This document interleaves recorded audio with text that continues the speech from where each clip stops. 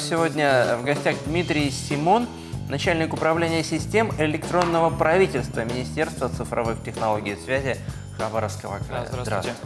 Итак, э, сайт госуслуги. Я, честно признаюсь, э, впервые им воспользовался, к сожалению, всего два месяца назад. Надо было получить справку об отсутствии судимости. Да? Я зашел туда настроенный скептически, вы знаете, я скептик, уверенный, что там вот потрачу кучу времени, ничего не получится. Моему удивлению, все получилось. И потом я получил эту справку в электронном виде, даже Знаешь, раньше, я чем... пользуюсь уже года 4, наверное. мне мне человек. очень нравится. Там, по-моему, единственная трудность, которая возникла, это прийти и подтвердить свою личность. Это потому что нужно было ногами дойти. Все остальное настолько быстро. Постановка машины на учет, э, снятие с учета, ну, подача заявления, естественно. Поэтому достаточно удобно. Сколько сейчас, Дмитрий, услуг можно получить благодаря вот э, электронному правительству? Э, Если мы говорим конкретно про региональный портал, нужно четко понимать, что есть единый портал, на нем федеральные услуги. Это МВД, это ФНС, это ПФР. Если мы говорим про региональный портал госуслуг, который услуги 27, а, на нем на сегодняшний день реализовано около 400 услуг. Из них э, около 150 это региональные услуги, это в основном соцподдержка, это региональный контроль, лицензирование, это больше для бизнеса сделано. И около 250 как раз услуг муниципальных органов власти. Ну, такие услуги тоже довольно Прописка, да, наверное, вот такие? Да, да, да, то есть вот что-то вот, вот такое. вот. А вот- Принцип такой, что человек вообще никуда да, не идет. Он может онлайн сделать практически все, даже получить справку. А, Да, к сожалению, сейчас не совсем все так. Есть э, понимание, есть четвертый этап, пятый этап. Ну, не буду грузить вас такими техническими сложностями. А, на сегодняшний день, если человеку все-таки нужно получить справку, для них все заканчивается единичным походом, ну, именно в орган власти. То есть, если человек э, сидит дома, он может зайти, э, может подать заявление, ему в назначенное время необходимо будет просто прийти эту справку забрать. Ну вот мне пришла по почте в электронном виде. И сказали, что если вдруг не будут принимать Но в электронном это виде... государственные услуги, ты, наверное, путаешь их с услугами 27. Это вот все-таки они очень схожи, да, насколько я понимаю. Вот вопрос в том, насколько они интегрированы. Могу ли я с госуслуг, да, федеральных получить услуги региональные, которые входят в эти услуги 27? Э, Сейчас на данный момент у нас идет такое, так называемое, это перемешивание как раз-таки единого портала и регионального портала. У нас сейчас для удобства граждан сделано, что если ты подал заявление на федеральном, ты можешь в региональном в личном кабинете уже посмотреть код исполнения, все полностью сделать.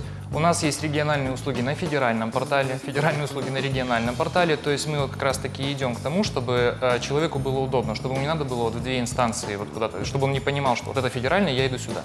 Ну да, ну вот вы знаете, вот мне, например, как э, рядовому э, хабаровчанину было бы удобнее. Вот, например, есть у меня приложение только госуслуги или только вот услуги 27, и чтобы и там, и там они были тождественны. То есть, чтобы можно было... Ведь все равно э, базы данных, они пересекаются, все равно, я понимаю, что там огромное количество различных нюансов, защиты и так далее, но тем не менее, наверное, это вот та, та цель, к которой стремитесь, да? Да, конечно. Вот сейчас как раз-таки у нас новый, назовем это тренд, цифровая экономика, и мы сейчас как раз-таки стремимся к тому, чтобы это все объединить, создать единую инфраструктуру, и чтобы прежде всего людям, да, было удобно это все получать. А Сейчас вот, возвращаясь к вопросу как раз-таки то, что за справкой нужно идти и все такое, а сейчас у нас следующий этап – это как раз-таки создание некой реестровой модели, чтобы человеку вообще не надо было никуда ходить, а был какой-то юридически значимый реестр, куда бы все справочки ложились и, соответственно, тем, кому они нужны, оттуда забирались. Я забыл сказать, что наш телефон 45 66 45. Если у вас есть какие-нибудь вопросы, звоните.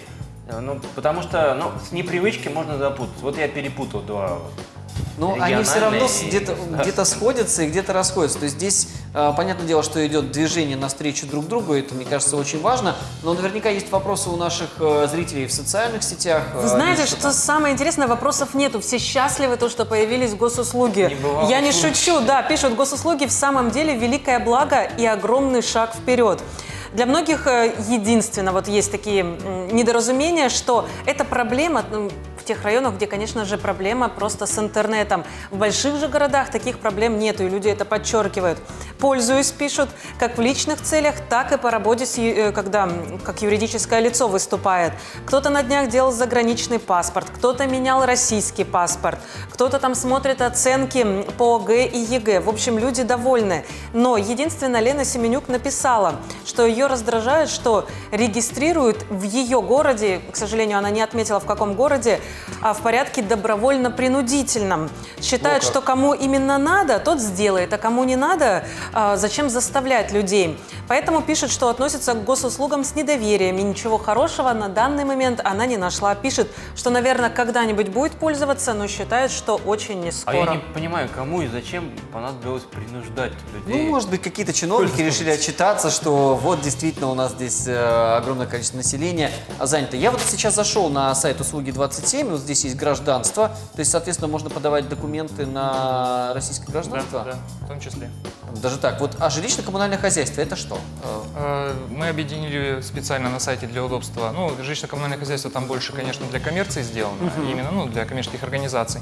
А Там э, по жизненным ситуациям разбито, то есть жилищно-коммунальное хозяйство, лицензирование и все по блокам. Для того, ну, это только сделано сугубо для удобства, э, удобства назовем это То есть пока вот квитанции еще посмотреть не получится. Или это закрытая информация, скорее всего? Квитанции, к сожалению, пока что э, ресурсоснабжающие организации у нас до конца года будут реализованы. Они э, на данный момент не являются ни государственными, ни муниципальными, поэтому с ними А. очень тяжело. Но у нас вот до конца года большой проект, и с 1 октября у нас при строительстве дома уже можно будет, как юридическим, так и физическим лицом, разумеется, можно будет подать э, документы на техприсоединение к инженерным сетям именно по водоснабжению. Э, Это в рамках пилота с 1 октября. Э, До конца года мы планируем Хабаровские комсомольские ресурсоснабжающие организации полностью вывести на портал. Там будет единая формочка. Можно будет зайти и оформиться, то есть уже никуда ходить не надо. Это действительно интересно. А, а да. можно вернуться к самому началу? Вот, допустим, какой-то человек впервые решил воспользоваться. Во-первых, как ему понять, на какой региональный или государственный ему заходить? Как проще всего? Тут довольно все просто. Э, Он, он в любом случае понимает, э, э, какую услугу ему нужно получить. Региональный это уровень, то есть это Мин- Министерство социальной защиты, или же это МВД, федеральный да, ресурс. И в зависимости от этого он уже э, Ну, я могу идет. поделиться опытом, я просто забил получить справку об отсутствии судимости вот в Гугле, да? И, собственно, ссылка меня привела именно туда, куда Да, и надо да, было. да. Самое простое, да? Ну, а если, например, э, у меня есть аккаунт э, в госуслугах, да, я им пользуюсь, ставлю машину на учет. да, всех предупредили, надо аккаунт завести. Ну, Да, да, личный разумеется. кабинет, да. А действует ли этот же аккаунт для а, вот госуслуги 27 или нужно действительно заводить второй?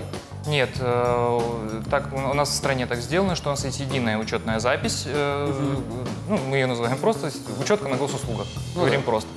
Эта учетная запись позволяет не только заходить на госуслуги, на услуги 27. Если вы переезжаете в другой регион, вы можете по этой же учетке заходить на их региональные порталы. А, Также этот способ авторизации поддерживают все федеральные, региональные, ведомственные порталы. Ну, я вот помню, что я захожу по электронной почте или по номеру телефона, тут э, не имеет значения, и тот же самый логин, пароль у меня сохраняется на краевом. Ну, Да, я предлагаю все-таки людям объяснить, как зарегистрироваться, потому что, ну, особенно люди пожилые могут вот, испугаться. То есть, насколько я помню, там надо отсканировать паспорт, да? свой? Нет, Ничего э, нет, сканировать лучше паспорт не надо, да. А, сканировать паспорт не надо. Э, Единственное, что нужно, это либо предварительно зарегистрироваться, а потом прийти в любой центр обслуживания и подтвердить свою учетную запись с паспортом и СНИЛСом. Это нужно для того, чтобы в будущем вы могли в электронной форме полностью подавать заявление, и вам не нужно было никуда приходить, то есть система знает, что вы – это вы действительно. Э, Либо, если у вас вообще нет никакой учетки, ни простой, ни средней, вам нужно сразу подтвердиться, с подтвержденной прийти. Э, Вы приходите, с, ну, так называем, с нуля, и к оператору, оператор вводит все ваши данные, они попадают в систему, вы зарегистрированы. Вам А приходит пароль. Я могу это сделать в МФЦ, просто прийти с паспортом и сказать, здравствуйте, вот я хочу на госуслугах зарегистрироваться на услугах 27. Да, вы можете прийти в МФЦ. На, на территории края у нас всего в целом э, центров обслуживания свыше 500, насколько я помню. Это э, органы МВД, это ПФР, это Фонд социального страхования, МФЦ и Центры соцзащиты населения. Туда, куда ближе, также на портале госуслуг на федеральном э, есть целая карта. Вы заходите, там точечками расставлены эти центры обслуживания, вы можете в любой удобный, ближе к вам прийти. Вот я помню, что регистрировался в правоохранительных органах, а, но при этом при всем можно чуть ли не на главпочтамте даже это сделать. Да, Почта России у нас также эти услуги оказывает.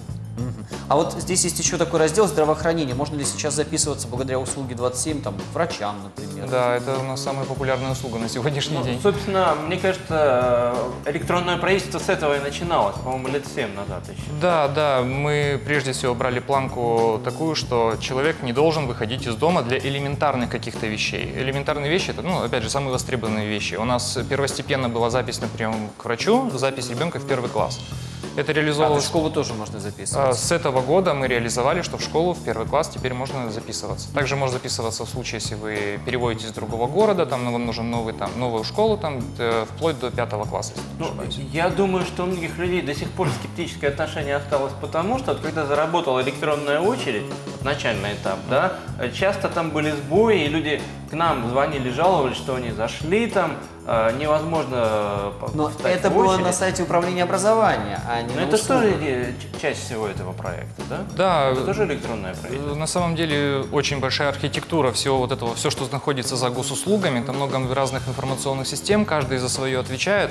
Но в целом на данный момент это все стабилизировано, все работает. Ну, жалобы, да, года 3-4 назад жалобы такие были. Они сыпались и разбирались с каждой конкретной жалобой. Но на сегодняшний день, ну, на моей памяти, честно говоря, даже в этом После этого году... хороших сисадминов, видимо, просто. Может быть, может У быть. нас телефонный звонок.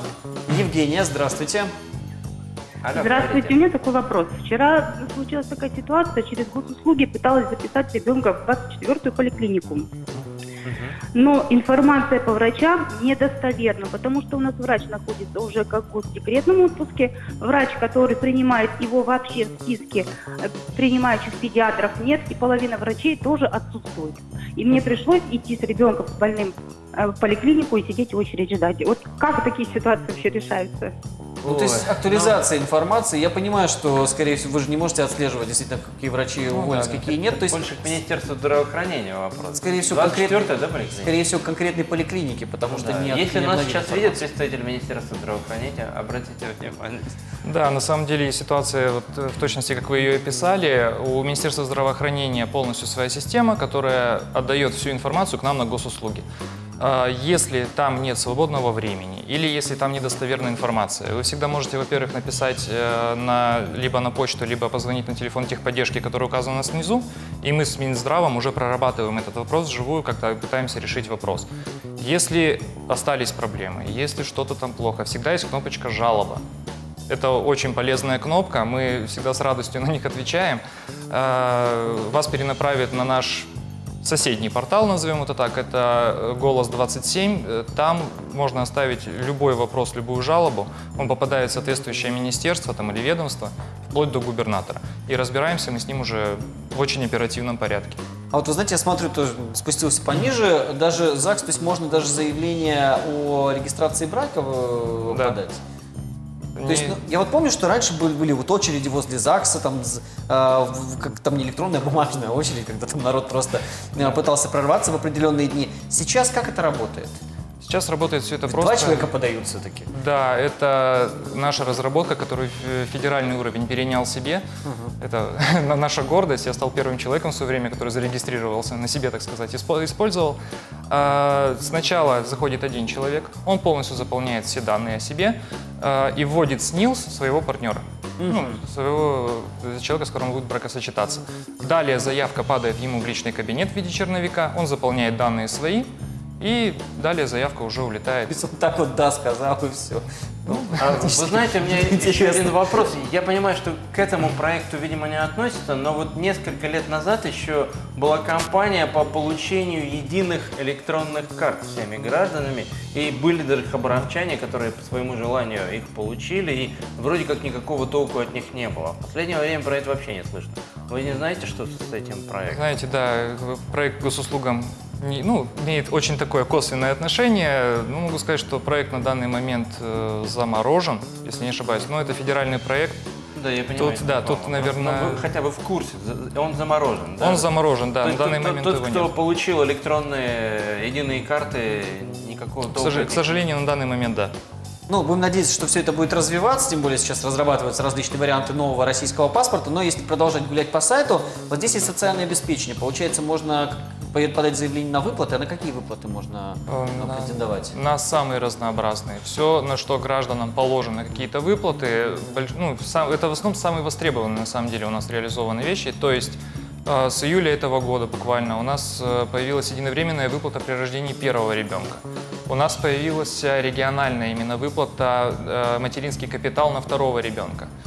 Все это можно получить, опять же, не выходя из дома. Если нужно субсидировать оплату за коммунальные услуги, Да, это можно на самом деле бесконечно продолжать. Это довольно большой блок такой. Все, что именно мы делаем по социальному обеспечению, с Министерством соцзащиты мы очень плотно взаимодействуем, и все, что у них вот самое-самое-самое, мы с них очереди очень сильно сняли. А получается так, что если э, обращаться, например, за материнским капиталом, мы э, тут, наверное, действительно нужно сканировать документы, там, свидетельство о рождении или, или номера набирать, а потом уже приходить за сертификатом. Или все в электронном виде, вплоть до э, даль- дальнейшем там, оформления сделок по там, покупке недвижимости.